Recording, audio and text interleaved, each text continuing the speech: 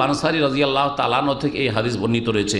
আন্না রসুল আল্লাহ কার রসুল্লাহ বলেছেন মানসামা রমাদান সুম্মা আতবাহু সিত্তামিন সওয়াল যে ব্যক্তি রমজান মাসের সিয়াম পালন করল, রোজা রাখল, তারপরে ছয় সওয়ালের রোজা রাখল। সওয়াল মাসের ছয়টি রোজা রাখল। সওয়াল মাসের এক তারিখ ঈদের দিনটা বাদ দিই ঈদের দিন রোজা রাখা জায়েজ নয়, হারাম।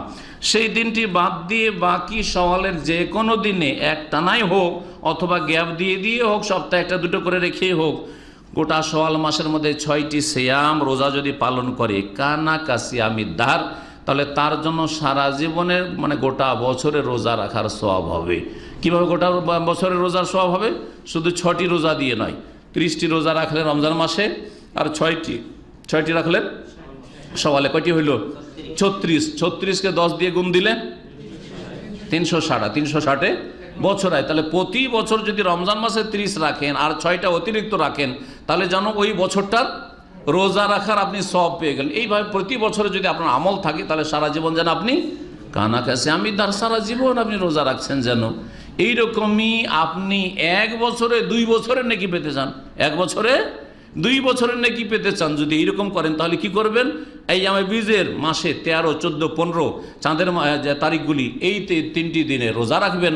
তাহলে সেয়াম ও সালা সেয়াম ও সালাসাতাই জামিন করলে সাহার প্রত্যেক মাসের তিনটি রোজা রাখলে কানা সিয়াম উদ্দাহার নবী বলছেন এটা হচ্ছে সারা জীবন রোজা রাখার গোটা বছর রোজা রাখার মতো। হবে না হবে না।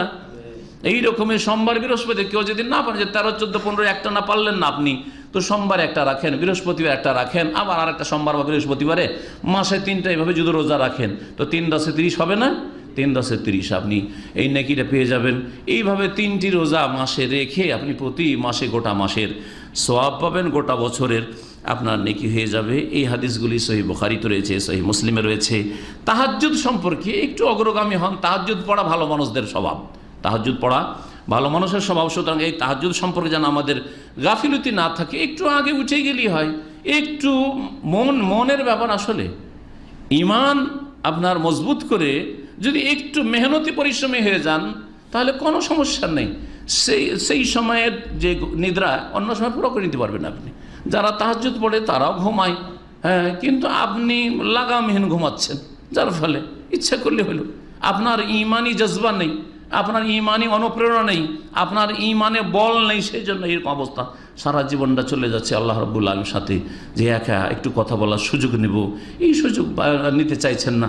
অথচ আল্লাহ আপনাকে ডাকছেন, আমাকে ডাকছেন যে, আসো আমার কাছে চাও দেব, আসো আমার কাছে ক্ষমা চাও, ক্ষমা করব।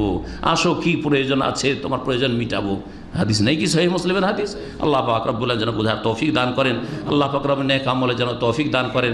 ফরজ অজেবের হেফাজতের তৌফিক দান করেন। হারাম নাজাজ থেকে বেঁচে থাকার